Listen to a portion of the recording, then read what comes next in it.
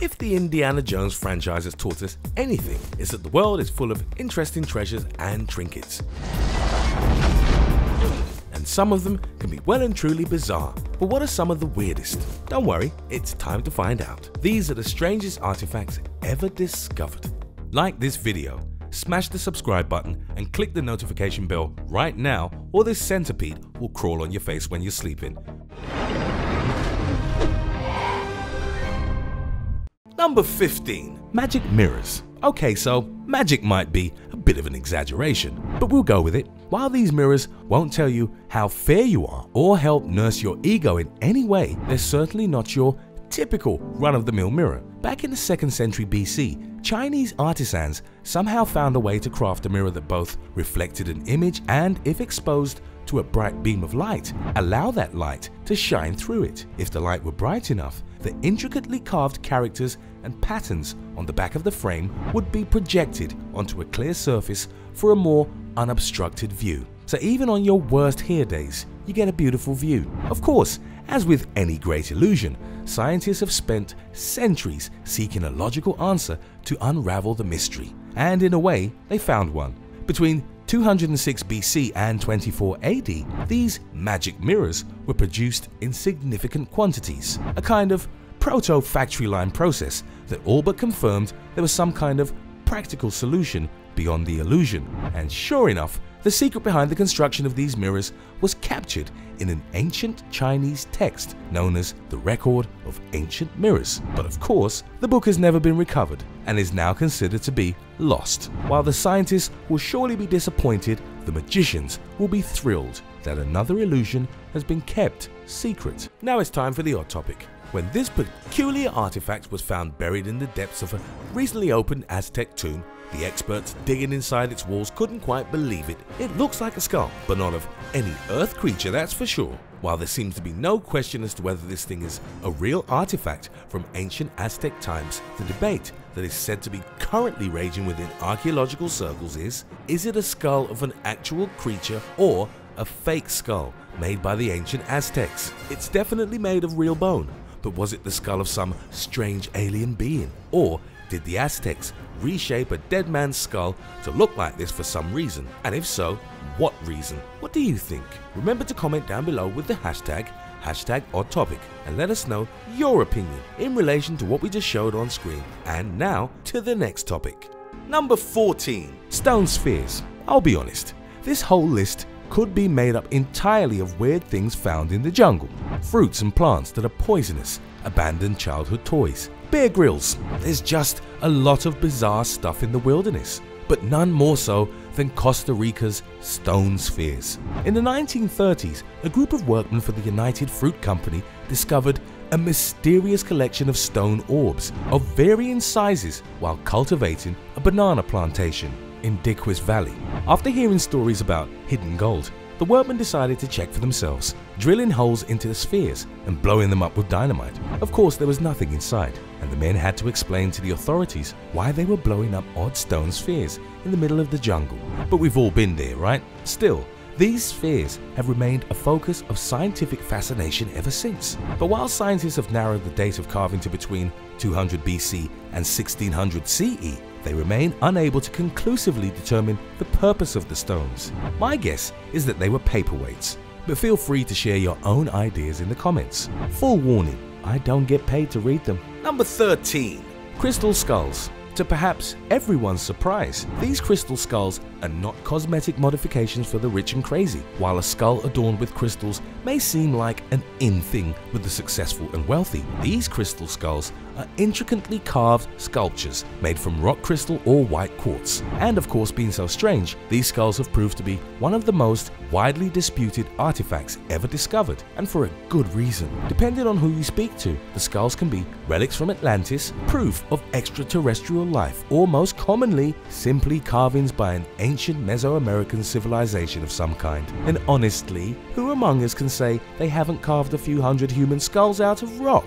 But while popular culture culture often portrays the skulls as having some kind of supernatural or extraterrestrial quality, the truth is rather more dull, as scientific studies have refuted all of those claims and concluded that most of the skulls are manufactured and have no real roots in Mesoamerican or Native American mythology. But despite this simple dismissal, these skulls continue to generate discussion around the world. With over a dozen crystal skulls in public and private collections around the world, there's no denying that old saying, an attractive skull shape will always get people talking. I may have made that up but it's a saying now. Number 12, the Antikythera mechanism. You know how some of the best strange stories begin with a shipwreck, where some obscure or bizarre object falls off a boat? Well, get ready for that, because this is where we're headed. In 1901, archaeologist Valerios Stais retrieved a small wooden box from a shipwreck off the coast of Antikythera. An investigation revealed that the strange contraption was an ancient analog computer used as far back as 87 BC to predict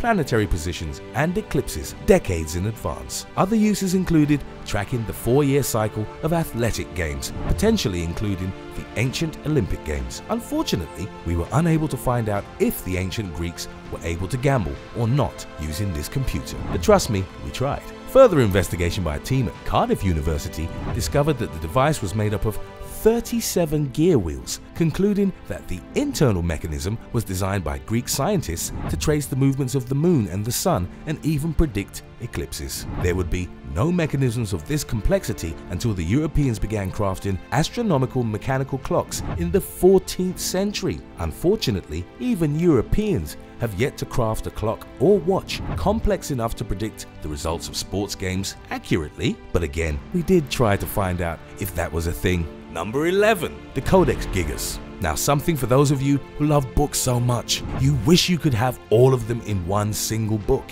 Well, in the early 13th century, the Codex Gigas, or Giant Book in English, was created pretty much for this purpose. Essentially, a giant illustrated medieval book of the world, the Codex Gigas is basically the world's first compilation book. Sandwiched between the Old and New Testaments of the Vulgate Bible lie an unimaginable number of popular medieval works all written in Latin. If I'm going to make this accessible to a younger audience, think of this book as kind of a medieval Goodreads, but without all the self-help and reviews of Dan Brown books. It's also sometimes referred to as the Devil's Bible, due to the memorable and unique full-page portrait of the devil. You have to give them credit for committing. But of course, the good times couldn't last. At the end of the Thirty Years' War in 1648, the Swedish took the collection from Rudolf II's Imperial Library in Prague as spoils of war. Even to this day, the manuscript is preserved at the National Library of Sweden. If you're looking at this entry and trying to figure out why it's considered strange, just think about what it would be like to read a compilation of eight Stephen King novels in Latin when the pages are as big as your kitchen table. Also, there's a picture of the devil.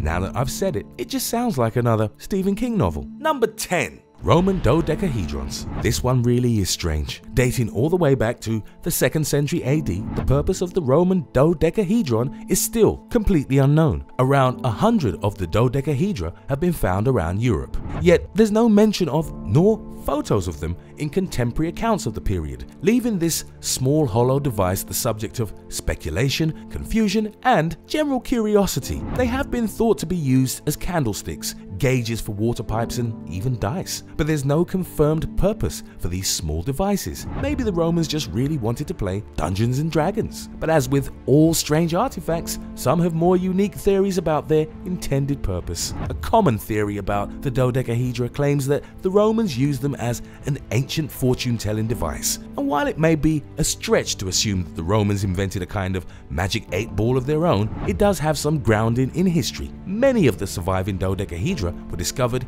in Gallo-Roman sites, a culture noted for its strong belief in fortune-telling and or the ability to predict the future. Whichever theory you believe, there's no denying that the Roman dodecahedron would probably be a huge hit on one of those TV shopping networks. Where else would you buy a single device that could be used as a candlestick, dice, and a pre-magic 8-ball fortune teller? Number 9. The Calixtlahuaca head. Surely, a severed terracotta head has to be considered strange, right? In 1933, archaeologist Jose Garcia Payon discovered the mysterious head during an excavation in Mexico's Toluca Valley, buried in a grave with gold, copper, bone, and pottery items, to name but a few. While the discovery was certainly strange, this artifact is made all the stranger because of its stylistic similarities to artifacts of Roman origin and its lack of any similarity to other artifacts from the era or site. In the decades since this revelation, scientists have conducted investigations and assessments that confirm the artifact's Roman DNA, yet nobody has been able to confirm precisely how the artifact got to Mexico. Theories range from suggestions of an elaborate prank played on archaeologist Payon by a colleague to a shipwreck washing up the item onto a nearby shore. But with researchers finding it impossible to even calculate when the grave was even buried, it appears to be very unlikely that any conclusive answer will ever be offered. Either way, the researchers likely didn't have half the headache this poor terracotta guy had. Number 8. The Piri Reis map. In our modern society, it would make sense to put even a more recent physical map on this list as a strange artifact. But there is one map that elevates itself above all others. In 1513, the Ottoman admiral and cartographer Piri Reis created a world map, citing a now lost map created by Christopher Columbus as a source for his work. Considering that it's a 16th century map, it's surprisingly accurate in its depiction of the Western European and African coasts, showcasing the extent of the New World exploration at this period. Reis's work is pretty good, except for some intriguing oddities, primarily the inclusion of a mythical island known as Antilia. If anybody can find that island, please feel free to let me know. The map itself was found entirely by chance, discovered in 1929 by German theologian Gustav Adolf Deissmann while cataloguing the Topkapi Palace's library. After flicking through a stack of old and discarded material, Deissmann found what he considered to be a most unique map and soon found out that it was an authentic and indeed the only known copy of a world map by Christopher Columbus. The map became an international sensation, especially captivating geographers who, for centuries, had failed to locate any map designed by Christopher Columbus. So the lesson here is that maybe we should all take a little more care when rifling through our old junk. You may just find a legendary map with a mythical island on it. Number 7. The Shroud of Turin. How can you define anything strange when referring to a man who was able to perform miracles? It's a good question, and one I'm going to sidestep completely just because I can. In religious circles, there's no more controversial artifact than the Shroud of Turin, a simple piece of linen cloth that contains the negative image of a man. Some people believe that this piece of fabric is the shroud in which Jesus was wrapped following his crucifixion and that the image depicts our Lord and Savior himself. But as it often does, history and science have their own ideas, namely evidence suggesting that it was created in medieval times. A 1988 series of tests revealed that the shroud can be traced back to the Middle Ages, somewhere between 1260 and 1390, and though many dispute the findings of these tests, all arguments have been scientifically refuted. While the shroud is kept inside the Cathedral of Turin, the Catholic Church has never publicly endorsed nor rejected it. In 1958, Pope Pius XII voiced his support of the theory that the shroud belonged to Jesus, as did Pope John Paul II. Still, while some Christian denominations continue to show complete devotion to the shroud, there will always be an air of mystery about this religious question mark. Number 6. The Crinoid Screw. Bear with me on this one, it gets more strange as it goes on, but you might end up learning a brand new word. In the 1990s, a Russian research team investigating the remnants of a meteorite stumbled upon a 1 inch screw lodged inside of an old rock. The researchers took their discovery to be an incredible find, believing this screw to be a piece of ancient technology that not only proves the existence of extraterrestrials, but conclusively proves that they visited Earth millions of years ago. Of course, it didn't take long for scientists to burst the bubble of excitement, claiming that this screw is nothing but a fossilized marine creature called a crinoid. Now, I have no idea what the heck a crinoid is, but it sounds like a kind of crispy, processed treat, and I kind of like that. A further investigation was carried out by paleontologists who concluded that the stone itself was formed around 300 million years ago and contained a second screw within. The great mystery, however, is whether or not any of this is to be trusted. International experts were not allowed to examine the object, nor did they ever reveal what this screw was made out of. Regardless, scientists around the world continued to dismiss the idea that this artifact is remotely exciting. But on the bright side, now you can use the word crinoid whenever you want. Number 5. The Dropa Stones. If you're here looking for genuinely bizarre and slightly tragic stories about odd artifacts, then you're gonna love this one. In 1962, Beijing professor Tsum Um Nui concluded his investigation into a strange collection of hundreds of circular stone discs dating back thousands of years. Nui believed that the peculiar grooves on these discs contained tiny hieroglyphs that could only be read with a magnifying glass. The hieroglyphs, Nui said, told the story of the Dropa people who had to adapt to life on Earth after their ship crash landed on our planet with seemingly no hope of fixing. Tragically for Nui, his 1962 published report on the stories was met with ridicule and laughter by his peers, forcing him to return to Japan in a self-imposed exile until his eventual death. I know that's a little dark for a channel like this, but hey, they can't all be wacky adventures. Nui's story mirrors the beliefs of many ufologists and pseudo-archaeologists, many of whom believe the stones to hold some kind of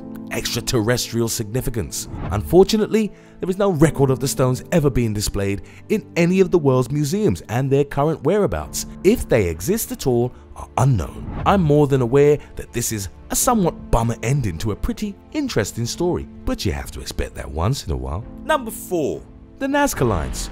Ordinarily, a hummingbird, spider, tree, fish, jaguar, monkey, llama, lizard, dog, and a human would have very little in common, other than obviously they're all living things, but in Peru they have one major thing in common. They are all part of the famous Nazca Lines. In southern Peru's Nazca Desert, a series of enormous geoglyphs line the soil to create designs of animals and plants, all composed of lines and indentations. All combined, the designs cover an area of around 19 square miles, about half the size of Orlando's Walt Disney World, but without the screaming kids and overpriced everything. Most archaeologists believe that the lines were created somewhere between 500 BC and 500 AD, though many experts dispute the purpose of their creation. The most common theory is that these drawings have some kind of religious significance and I, for one, welcome our glorious llama monkey gods.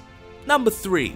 The Sacsayhuaman Walls Sitting at an altitude of 3,701 meters or 12,142 feet, if you'd really like to make yourself feel tiny, the citadel of Sacsayhuaman is best known as the historic capital of the Inca Empire and the largest structure ever built by the Incas. Designed by four architects working under the supervision of the great Inca builder Pachacuti Inca Yupanqui, the Incas began building the citadel in the mid-12th century, using only mud and clay to form the first basic structures. But as with any empire, this was soon deemed to be unsatisfactory, and the new rulers decided to start over with a much more complex and aesthetically pleasing material, stonework. Drafted in 20,000 laborers, the Incas worked under their brutal and well-oiled system of extracting the goods and labor from those that they conquered. Using their conquered labor groups to their benefit, the Incas put them to work quarrying, digging, and cutting the boulders until they could fit tightly without the need for mortar. Today, the site has been added to the UNESCO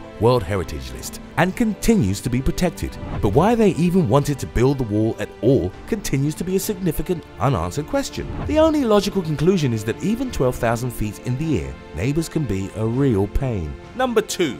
The Ark of the Covenant, arguably the most well-known artifact in this list. The Ark of the Covenant is more than simply a fun little device that Indiana Jones used to help destroy the Nazis in World War II, covered in the excellent documentary Raiders of the Lost Ark, said to contain the two stone tablets of the Ten Commandments, and maybe more within its deceptively simple wooden appearance. The Ark of the Covenant is a legendary and intimidating artifact it's a little bit like if a librarian quietly kept the Doomsday books in her purse. Believed to have been created a year following the Israelites' exodus from Egypt, the gold-plated wooden chest was carried approximately 2,600 feet by its staves. According to the biblical account, the ark was so feared and respected that it remained hidden under a large veil made up of skins and blue cloth whenever it was carried to protect from the eyes of onlookers, including those who carried it. Number 1 underwater cairn. Our number one pick for the strangest artifact ever discovered comes from where else? The deep, dark recesses of the ocean, or as some people, well, me, like to call it, Aquaman's basement. In 2003, a routine sonar survey around the Sea of Galilee discovered something strange in the sea's southwest portion. A group of divers soon discovered that the item was much stranger than they ever could have expected. A mysterious, giant, cone-shaped stone structure weighing around 60,000 tons. For context, most modern warships weigh approximately 35,000 tons. That's a hell of a structure to be sitting around underwater. Researchers have come to believe that the structure is a giant rock cairn, a stack of rocks piled atop one another sometimes used to mark burials. But as with just about everything else on this list of weird and unexplained items, the scientists and researchers have no real clue whether or not this particular structure was used for that purpose. It's entirely plausible that this could simply be a stack of rocks at the bottom of the ocean. But of course, the question comes back to one simple word. Why? My guess is another paperweight. I think all of these items were intended as paperweights, honestly, and no science will convince me. Which of these strange artifacts would you want to get your hands on, and which theories do you believe? Let us know in the comments below. Also, check out our other cool stuff showing up on screen right now. See you next time.